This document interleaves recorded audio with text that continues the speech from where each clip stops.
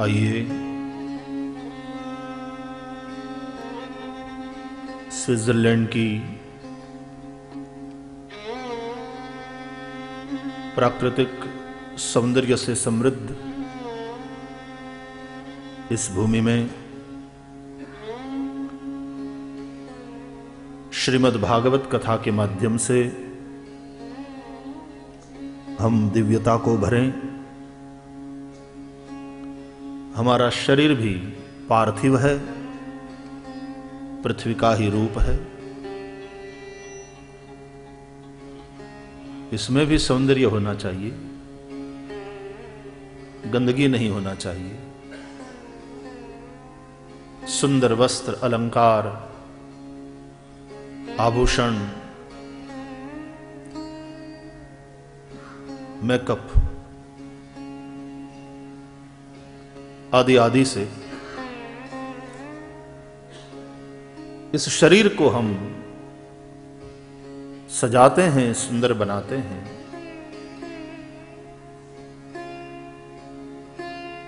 लेकिन उस सौंदर्य के साथ साथ दिव्यता का होना भी बहुत आवश्यक है।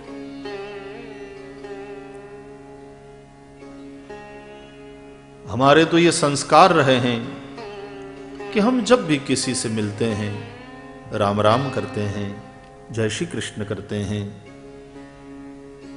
जय सियाराम करते हैं, साई राम कहते हैं। एक दिव्यता के भाव के साथ हम मिलते हैं। आँखों में दिव्यता का अंजन। लगाकर फिर सृष्टि को देखिए। फिर सौंदर्य को निरखिए, विकार नहीं आएगा।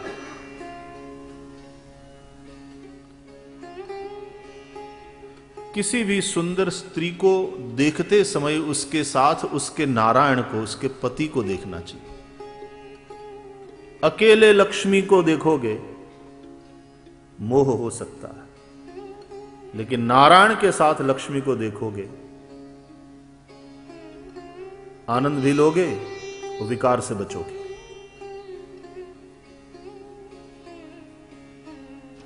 केवल प्रकृति को देखोगे, विकार आ सकता है। और उस विकार के चलते विश्व के लोग प्रकृति को फिर भोग्या समझकर एक्सप्लोइट करते हैं। ठीक है। प्रकृति माँ है, माँ पोषण करती है। प्रकृति पोषण करे ये ठीक है, उचित है, लेकिन छीन लेना।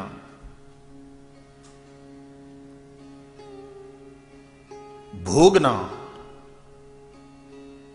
ये रावण की वृत्ति है।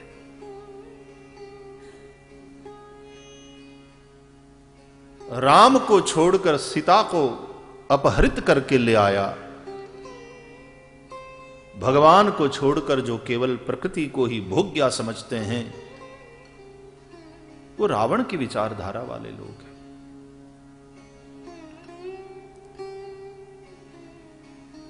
श्री वृषभानुजा के सौंदर्य को निरखिए। क्या अद्भुत लावण्य है। लेकिन बगल में खड़े श्री कृष्ण से, राधा की शोभा, राधा से श्री कृष्ण की शोभा, और उन दोनों से हमारी शोभा।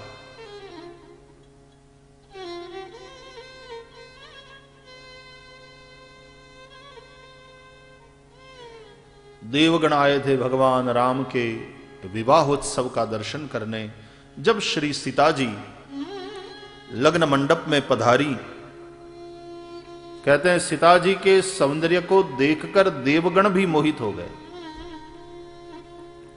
फिर राम जी की ओर दृष्टि गई और तुरंत भाव उठा, ये हमारी माँ है। हमारी माँ कितनी सुंदर है, प्रणाम किया।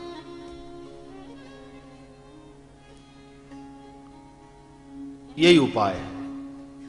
प्रकृति को उस पुरुषोत्तम के साथ देखो। सौंदर्य देखो। लेकिन ईश्वर की स्मृति के साथ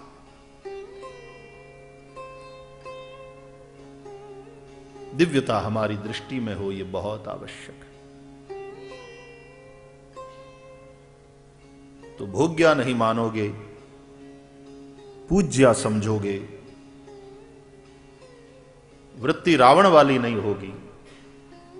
वृत्ति हिरण्य कशिप वाली नहीं होगी। वृत्ति हमारी आसुरी नहीं होगी। यह पृथ्वी, यह सृष्टि, यह ब्रह्मांड बनाया है ईश्वर ने हमारे लिए।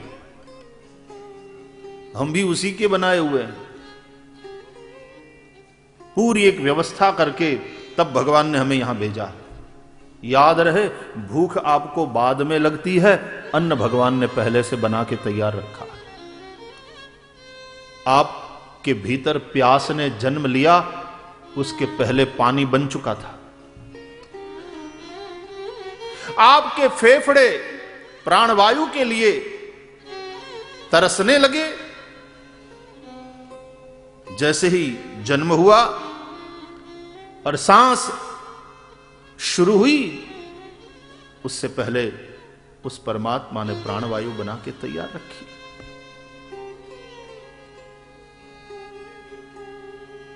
याद रखना, आवश्यकता कभी भी अधूरी नहीं रहती। आवश्यकताओं की पूर्ति होती ही है और इच्छाओं की पूर्ति कभी नहीं हो सकती। जो भी आवश्यक है जीवन के लिए, सब परमात्मा ने बनाया, उपलब्ध कराया। जल आवश्यक है, प्रकाश आवश्यक है पवन आवश्यक है। ये पृथ्वी आवश्यक है। जो भी आवश्यक है, सब परमात्मा के द्वारा उपलब्ध कराया गया। और तुमने देखा, ये फ्री ऑफ़ चार्ज है।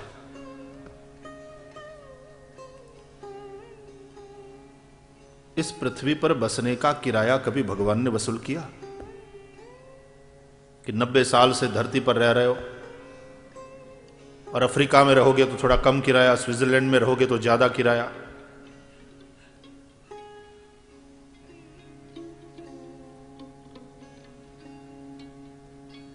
परमात्मा ने सूर्य का प्रकाश दिया।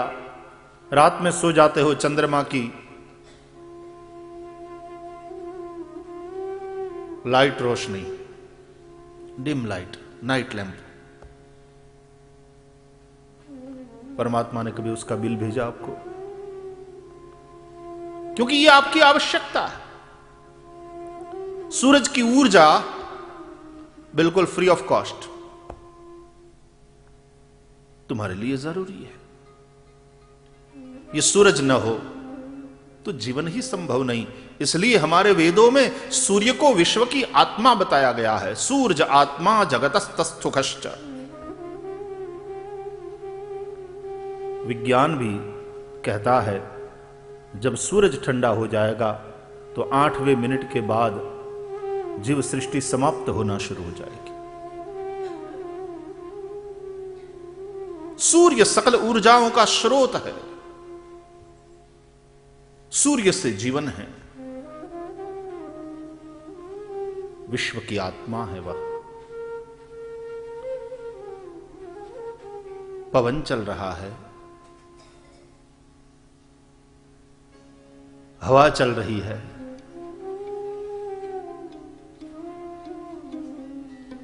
मनुष्य की आवश्यकता में ही आता है। परमात्मा ने यह नहीं कहा कि इतने सालों से तुम अपने फेफड़ों में प्राणवायु को भर रहे हो, इतना चार्ज, पहले चुकाओ, नहीं तो कल से तुम्हारी प्राणवायु बंद कर दी जाएगी।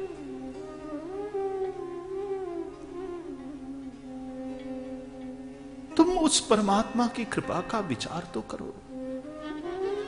हमें सब फ्री मिल रहा है।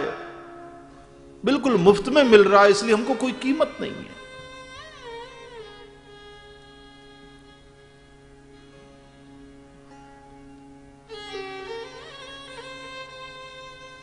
पृथ्वी, पवन, प्रकाश, पानी।